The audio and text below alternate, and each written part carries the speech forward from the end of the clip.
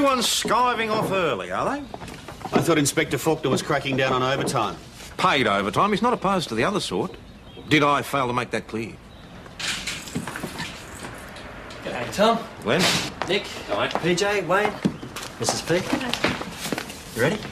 I thought we were meeting at the pub.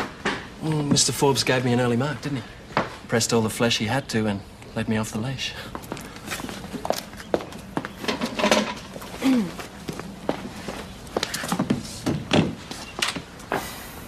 I'll uh, see you later. Let's go. Well, I think it's great. What's great? Maggie's got a boyfriend. Oh, I don't think Glenn's a boyfriend. We're going out tonight. Doesn't make him a boyfriend. Press liaison for a local MP. Police and politics don't mix, mate. Well, she uh, saw him the last weekend she was in Melbourne. And how do you know this? She told me. She even took him home. To meet her dad? You're kidding. What's wrong with that? Sergeant Pat Doyle, the last of the hard men. She says that he's a sweet. Yeah. Well, I've never met the bloke, but, um, legend. And she took him home to meet Pat. Must be serious. Now listen, Wayne. She told me this in confidence.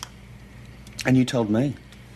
Yes, because you were denying that he's her boyfriend. He's not a boyfriend. You could go into politics yourself. From Minister's press secretary. Some have. Please, what does she see? Power. Power, PJ, it's power. Just say there's this detective and he gets out of line with her. She slips the word to Glenn. Glenn slips the word to his boss. Uh, right, and the detective gets sent to whoop whoop. Is that it, Nick? My word, I would be very polite, extra careful if I were after this. You two look like a stag line at a dance. Just discussing Glenn Ritchie. What's the attraction there? To you, none, but to most women, Frankie. To me, he looks like a journo, Chrissy. He's got no style, no class, nothing. Oh, not like a D, you mean? These have incredible uh, style, Nick. Don't you reckon? Incredible, as in no one believes. Oh, very good. They're talking about us. Next time we do this, how about the coach house on the highway? Good idea. In fact, we could go there for now for coffee if you like. Or we could. Glenn Ritchie. Yes, Ken. Oh. He would, wouldn't he? He would. I told you get no class, mate. Chrissy, what are they drinking over there?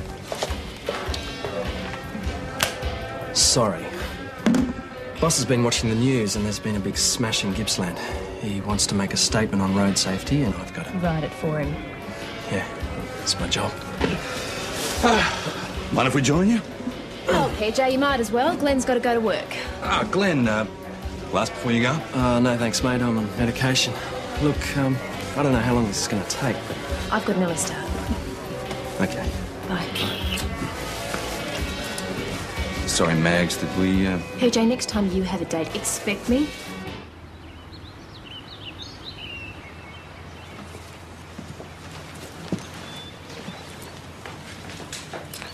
Good morning. You did have an early start. Now, would I lie to you? Sorry about last night. Paid off, though. Oh, gosh, it was a bad one, all right. Ex-racing car driver Ken Forbes MP. Drove in rallies. Won a few ten years back. Press tends to play it up a bit. You play it up, you mean? Cynic. Ken and I have got to do a bit of running around the district today, but I'll be back Thursday. How about we finish our date then? Sure. I don't know. Some men have all the luck. You'll have to give him up to me now, Constable. I want him on the road. He is all yours, Mr. Forbes. Oh, and uh, my regards to Nick Schultz. I saw his figures at St David's the other day, doing a fabulous job. He'll be pleased to hear you said that, sir. Bye-bye.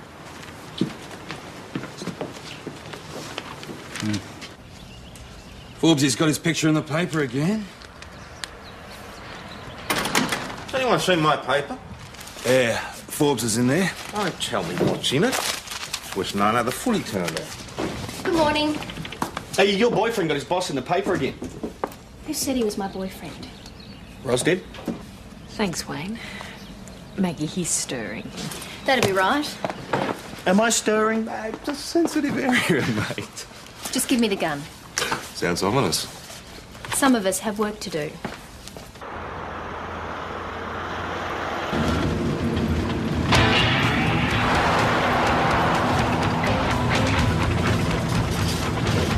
them.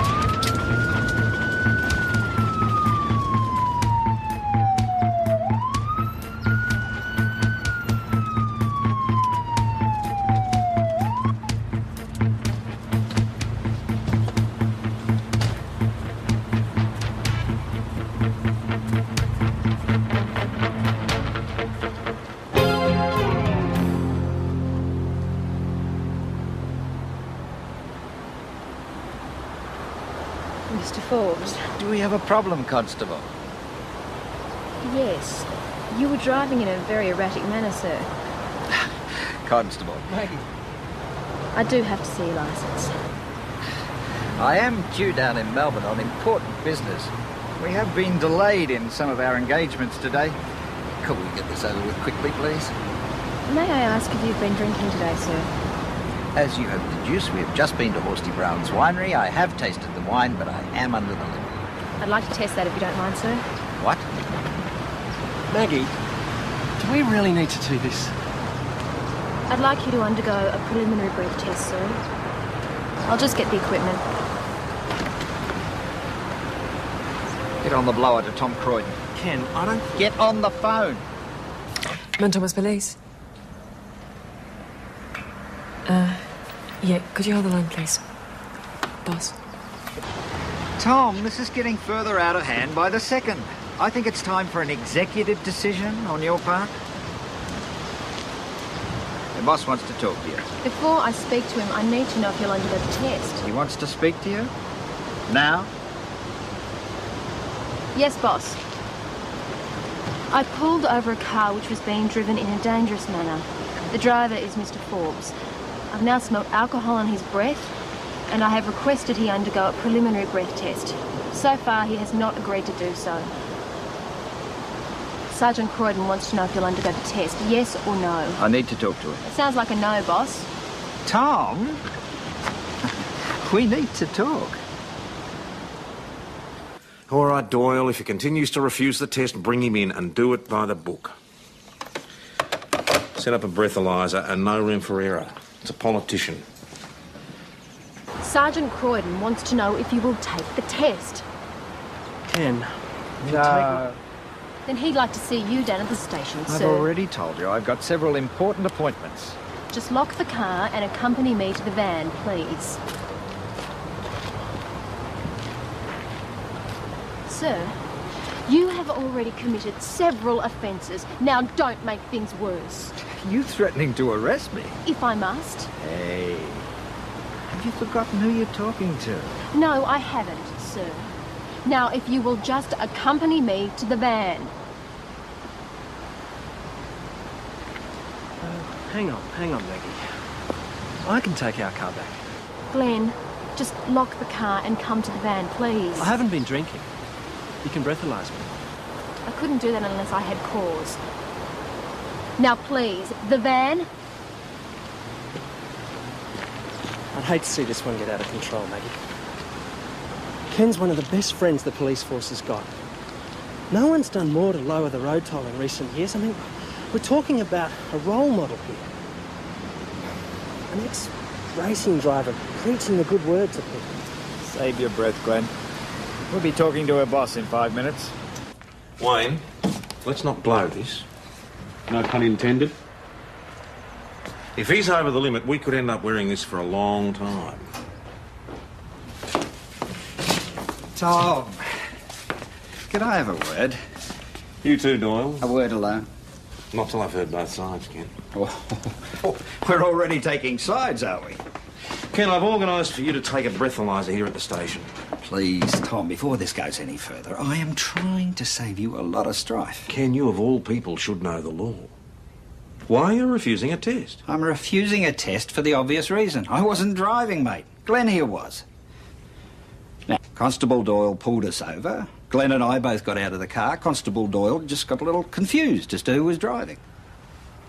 The car was in clear view from the moment it swerved around the corner onto Peterson's Road. When I reached the driver's window, Mr. Forbes was behind the wheel. I'm not an idiot, mate. I'd had a few glasses of wine at Horsty Brown's winery. I realised that might have put me over the limit, and I asked Glenn here to drive. End of story. They were in the car. Mr. Forbes was behind the wheel. And don't say I didn't give you a chance. Now, let's hear from the driver. Glenn, who's telling the truth here? Her or me?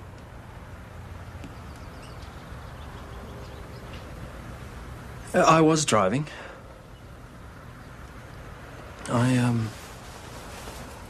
guess Constable Doyle must be mistaken.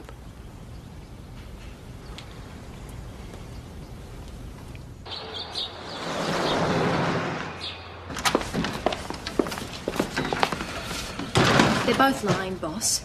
I'll try and make him see sense. He's playing for time. He knows he's getting more sober by the minute. I realise that. Ken, this is mad. She makes this stick, you're out of a job. We both are. Won't get that far, mate. Tom, can we clean this up fast? I've got several meetings to attend. Well, you see, Ken, I'm in something of a cleft stick here. I accept that your constable made a genuine mistake, but now she's compounding it by lying. Exactly. Now, if you and Mr. Ritchie are telling the truth, then I've got a constable on my hands who's just told me a barefaced lie about a very serious matter. Mate, I can't throw myself on my sword, give up my license, and ruin my career just so as you can have a comfortable relationship with one of your constables. Ruin your career. I am known for my strong views on road safety. Now, if this misunderstanding becomes public property, I won't be the only one to suffer, Tom. Given there might have been other witnesses, Which there weren't. given there might have been, then whether or not you were over the limit becomes material. Now, I'm asking you again to undergo a test. Tom, I sit in the cabinet room on a daily basis with the police minister. I'm aware of that, Mr. Forbes. Now, let's do the test. If I won't, Then I'll charge you for refusing a breath analysis.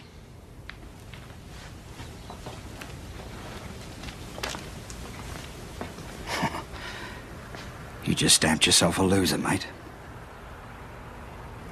What type of intoxicating liquor have you consumed today?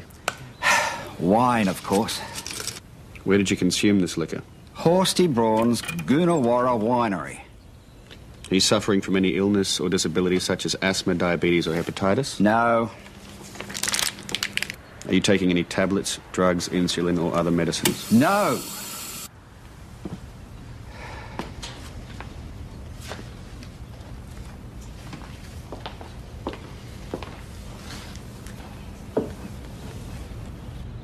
Point oh nine. So you were driving the motor vehicle ESY 342 when Constable Doyle stopped you. You've just undergone a breath test on an approved device and returned a positive reading of .09. We have no option but to charge you. He blew 09. Get out to Horsty's wiring and see if he saw who was driving when they left. Right.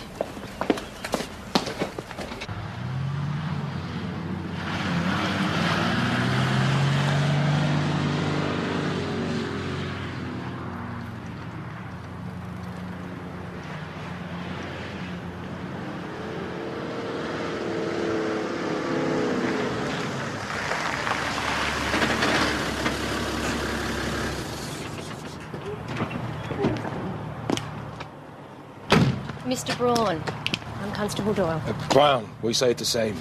But please, you can call me Horsty, like all the other barbarians do. I understand you. Uh, Horsty, I understand. Horsty, I understand you had Mr. Forbes and Mr. Ritchie here earlier today. It hasn't been an accident, I hope. No, no, nothing like that. Were they here long? Uh, what's this all about? Did one of them uh, lose something? They were here. They looked at a few bottles, they bought a couple of cases. Looked at. Yeah, taste it. Oh, you think one of them's been a naughty boy, right? Who was driving when they left? Ah, no, that's hard to say. Uh, You see, I was inside when they left. You sure about that? Cross my heart. Did you see who was driving when they arrived? Unless, again, I was inside. Well, now that the business is over, let me show you some wines. You know, it's a very important part of every beautiful young lady's upbringing that she know about wines. Hmm? I'm sorry, Horsty. Maybe some other time.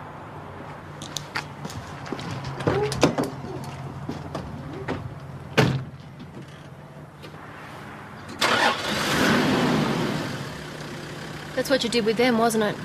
You stood there and waved them off. You're quite right. I would have. But the phone rang. Hey, come back when you're off duty. I'll show you some wonderful wines, huh? Horsty Brown. Old world charm. But he says he didn't see who was driving. Oh, well, it was worth a shot. Now, this report you're about to write, I want it to be a model of its kind. The kind of report that in years to come the Academy will use as an example of how a report should be written. You do believe me, don't you, boss? Yes, I do. Forbes and Ritchie were lying their heads off. I will give Ritchie this much credit. He was gagging on it. I did do the right thing, didn't I? I can't fault what you did today, Doyle. As you grow older and wiser, you might learn to pick your fights. If Forbes wasn't who he is, we could have sat them down in separate rooms and cross-checked their stories, couldn't we? Doyle. What's about to hit the fan is large enough. Let's not try and make it the size of the exhibition buildings. Right. Forbes wouldn't have worn it. You and I would have found ourselves out of a job. Not today, not tomorrow, maybe not even next week, but probably by the end of the year. Is that going to happen anyway? Not if you write the report I've just described.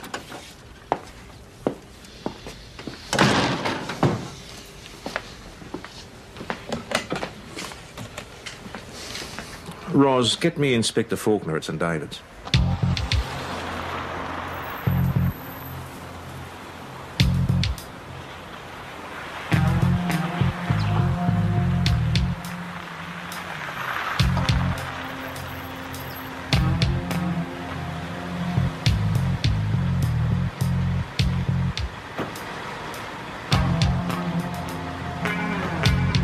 Thanks, Wayne.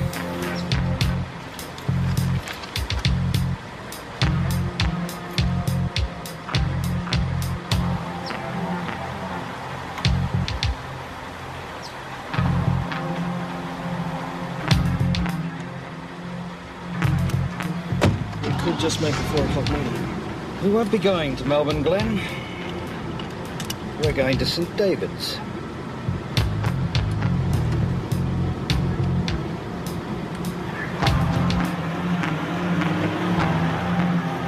All right, now who was flogged my car? Uh, Wayne had to drive Mr. Forbes and Mr. Ritchie back to theirs. That's great.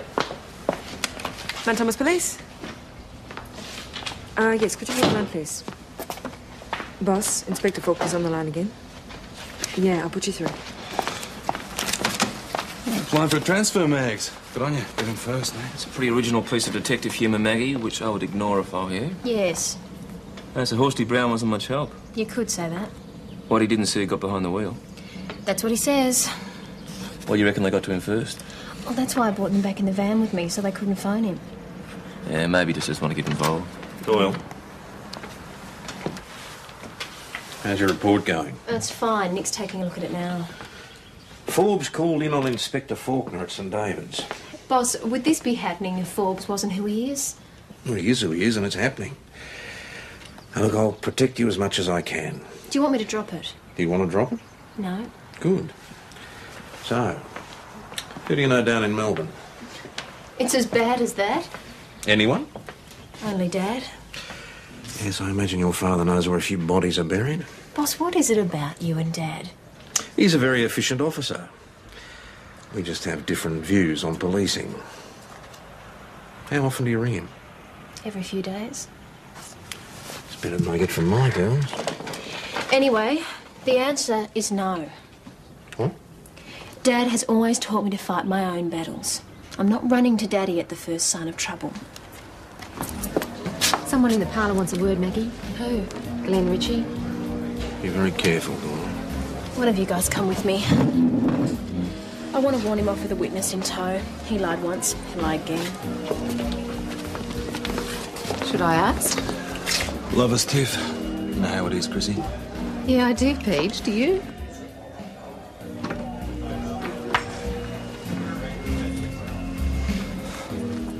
I was hoping we could do this one on one, Maggie. Why? So you could set me up with something else? Maggie? Only my friends call me that.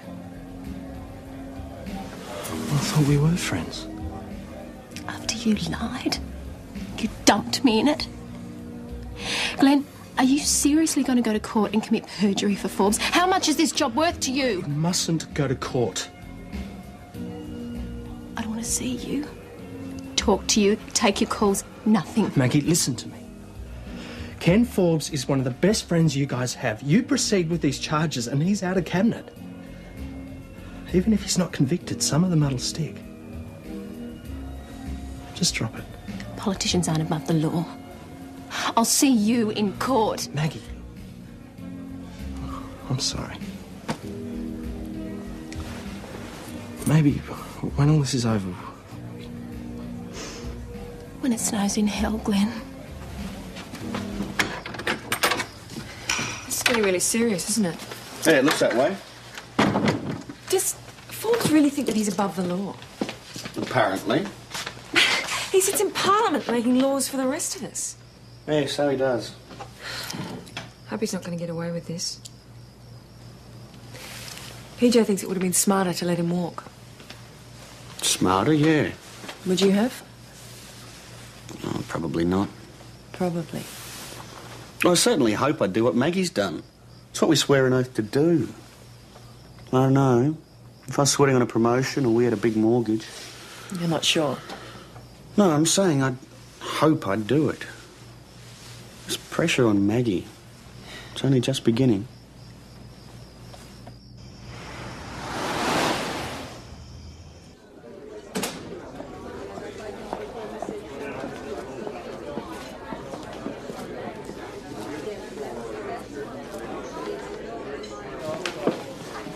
Help you?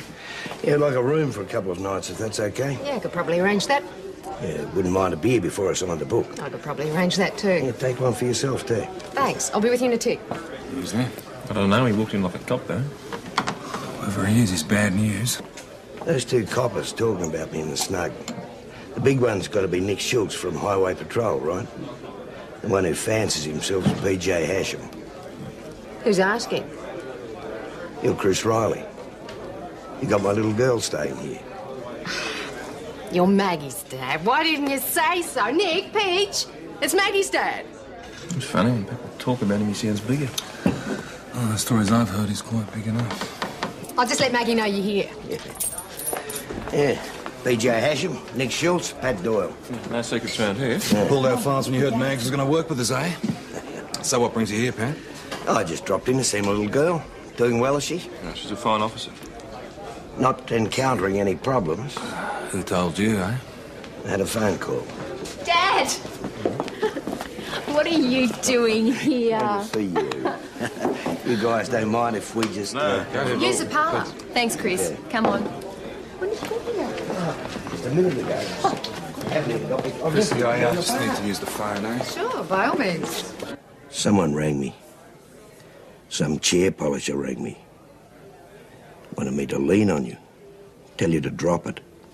Who? Oh, no names, no pack drill. Reasonably high up. Dad? No, I don't want you buying into this. I'm not. You drove all the way up here. Well, Had a few days owing. Just thought that you might like someone to talk to. Hmm? So tell me all about it. Now, talking in the parlour. Better give us one for camouflage, Chris. I did the right thing. I did everything I was taught, and now I'm copying all this. Yeah, Glenn. He's the one you brought round to the house last month. Yeah. Dad, he, he just stood there and lied. And I thought there might have been something there. How close were you? We weren't getting close. And he lied. To protect his boss? To protect his job? Both, I guess. Doesn't sound like a very nice person for my daughter to be going round with. It's just weak. Yeah, you could say that. Dad, this isn't about Glenn. No, isn't it? Isn't he the one that dropped you in it? I mean, if he'd told the truth when his boss lied, you wouldn't be in this situation. Now, Dad, you've always taught me to fight my own battles. Don't you start butting in now. Look, I, I wouldn't dream of it. I just to make sure you're okay. Hmm? Dad, I'm okay. Good. Oh, boss, you've met my dad, haven't you? Hey, Pat. Hey, Tom. Just dropped in for the one. Chris told me you were here. He's checking up on me. Perhaps you could organise us another. Sure.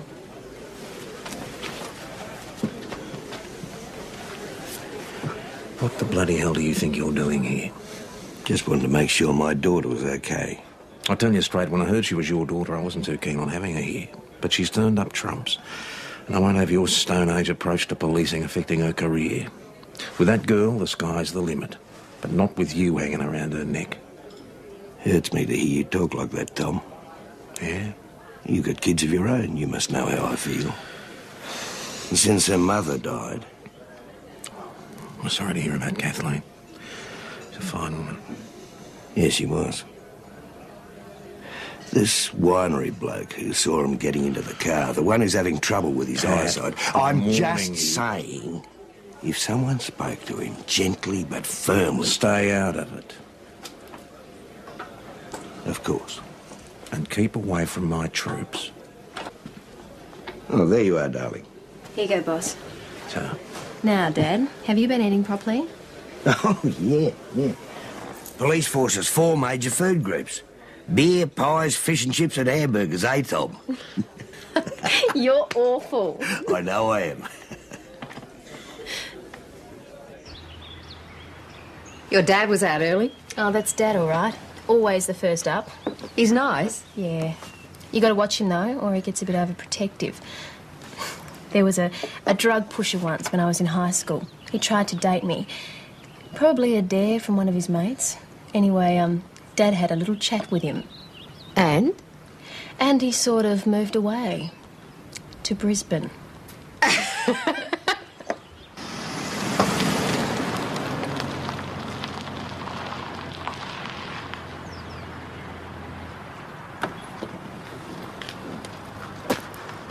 Mr. Braun? Uh, Brown. But all the barbarians call me Horsty. That's good to know, Horsty, because I'm a barbarian. You've come to see some wines, right? Oh, indeed, why not? And your name is? All the other barbarians call me Pat. You like to see some whites or reds, Pat? Oh, whatever makes for frank and free conversation, Horsty. Well, for serious talk, reds. Reds it is, then, Horsty.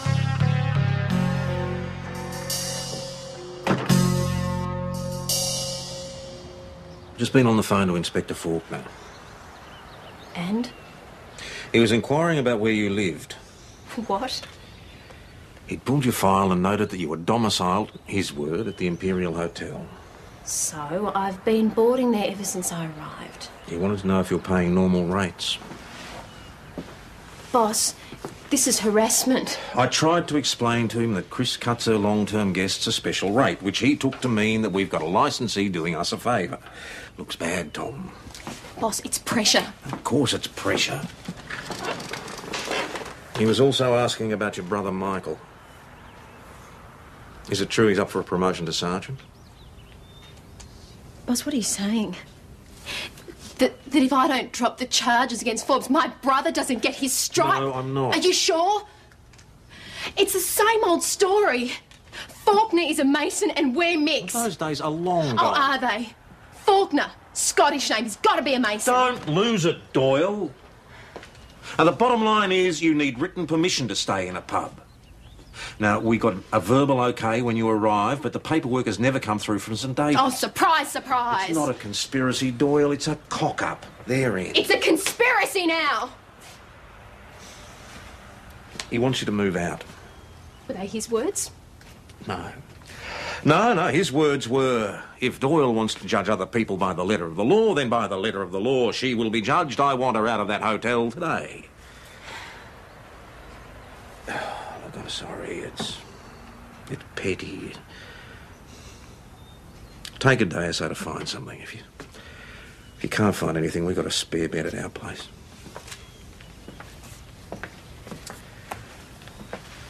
Oh, and, uh. Just be careful how you break the news to your father. I don't want anything to set him off. Boss, he's not a bomb. Isn't he just?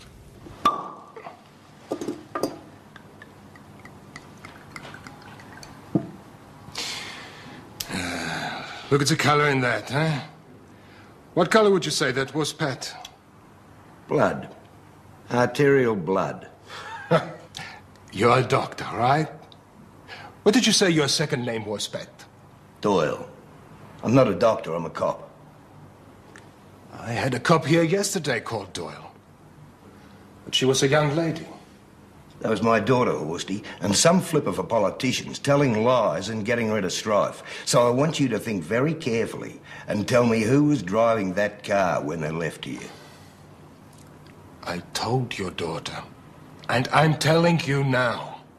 The phone rang, and I came in here when they left.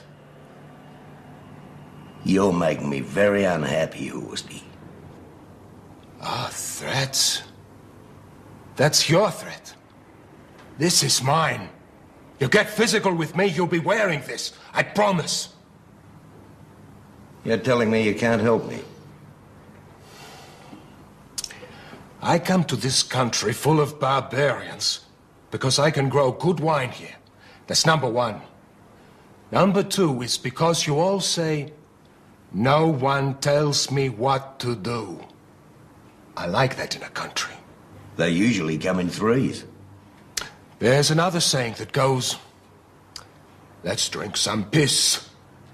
Now, Pat, I like your attitude, but I honestly didn't see them get in the car. Hmm? So come on, let's drink some piss, huh?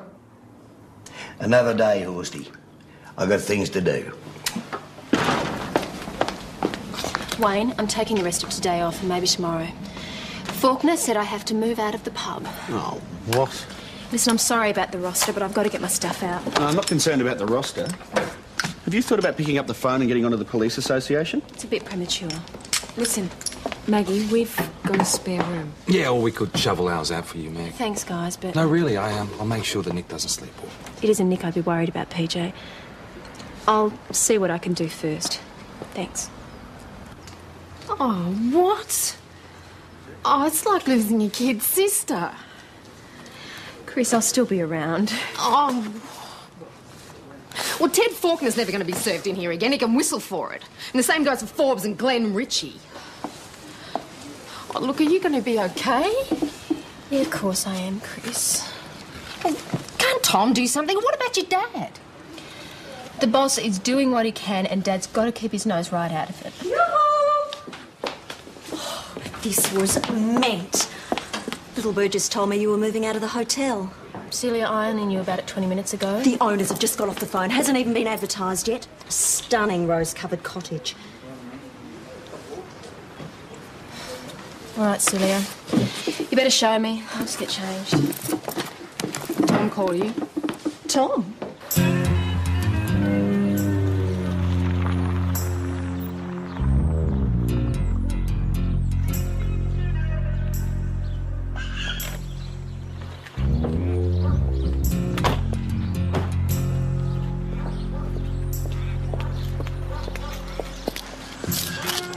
It's really cute. Isn't it? It's a lovely garden. We'll Move in today if you like. They want to leave most of the furniture here. Right. Celia, it, it's lovely. I just, um. Maggie, what's the matter? Oh, nothing, Celia. I just don't want to move out. I hadn't realised what a good friend Chris had become. You know, it's like being chucked out of home suddenly. You have to, though. Oh, yes. Yes, Celia, I have to. I'll take it. The kid was in her class at school. They're both only eight years old. Well, she's dragged him into the station under citizen's arrest. Couldn't understand why I wouldn't lock him up. Hey, you two. Hi, I've just been hearing all about you. Insisting on being Joseph in the Nativity play. Uh-uh. Then it must have been the citizen's arrest when I was 8 Mm-hmm. Got it in two. Jimmy Doherty squirted one of the nuns with a bubbler. You're going back to Melbourne before you start showing baby photos, I hope. I've already seen them. Oh, Dad, you didn't. Chris has told me about the move. I could hardly keep it a secret from Pat now, could I? I'll get the car around the front. Help you move. Thanks.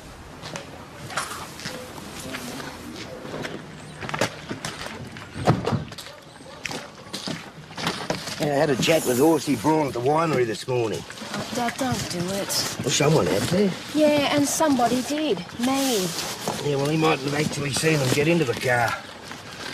Dad, stay out of it, please. I'm a big girl now. You're always such a fiery little number. Yeah, and I still am.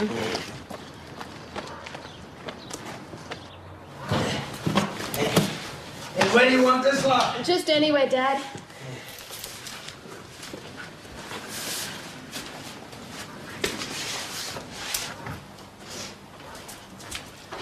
Yeah, well, I put it in that side room or... Oh, yeah. Oh, there.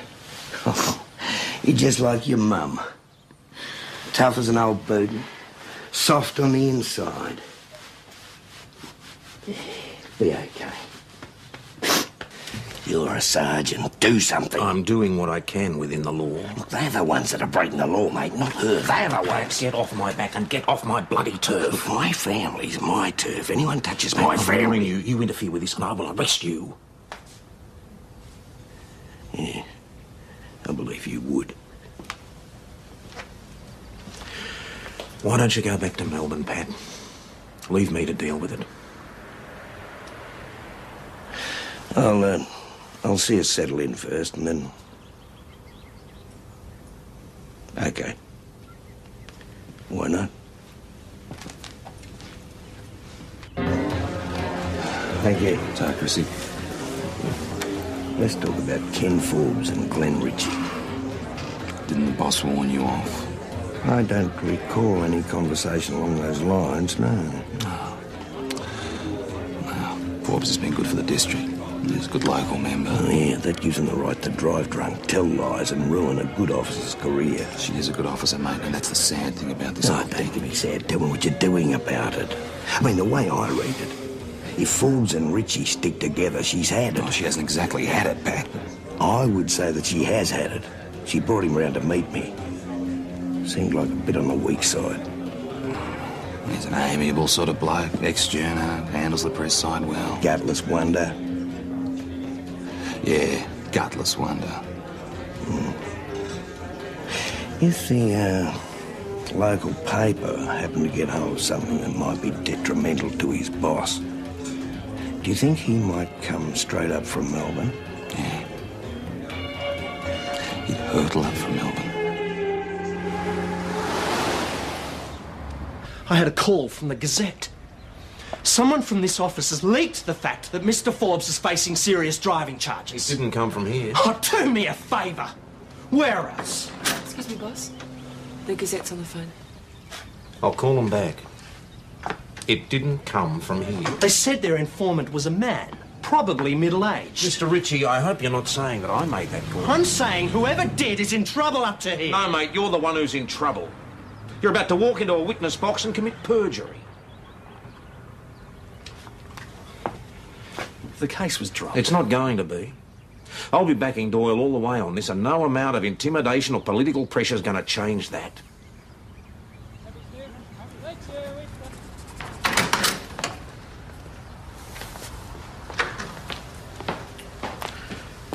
Anybody here speak to the Gazette last night about Mr. Forbes' little problem? No. Where are Nick and PJ? Uh, Nick went out on the road about six. PJ's on a job.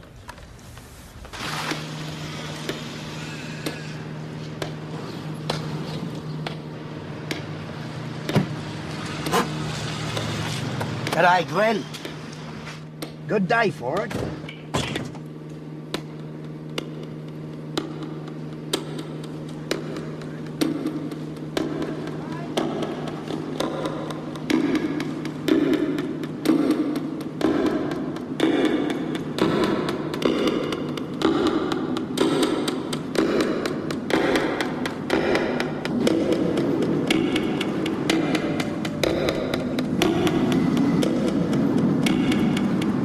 I've uh, spoken with the Gazette and explained that Mr. Forbes would be pleading guilty to all charges and wishes to congratulate the Mount Thomas Police on their efficiency. He made an error of judgment owing to overwork and stress. He expresses his contrition and he'll pay for his mistake in the same way he'd expect any other citizen to pay for theirs, believing as he does that no one is above the law. Having had a salutary lesson himself, he'll be redoubling his efforts to lower the road toll.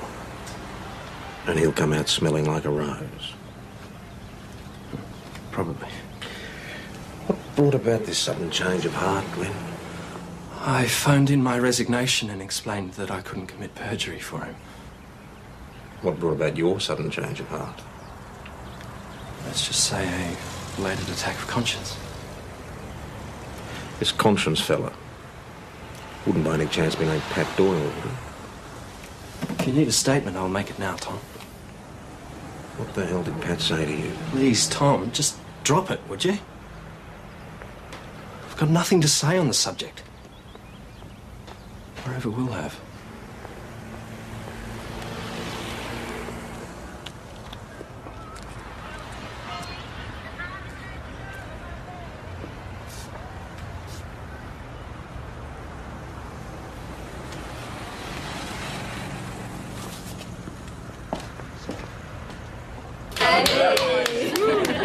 They told me the news. Yeah. I knew Glenn wouldn't do that to you, not really.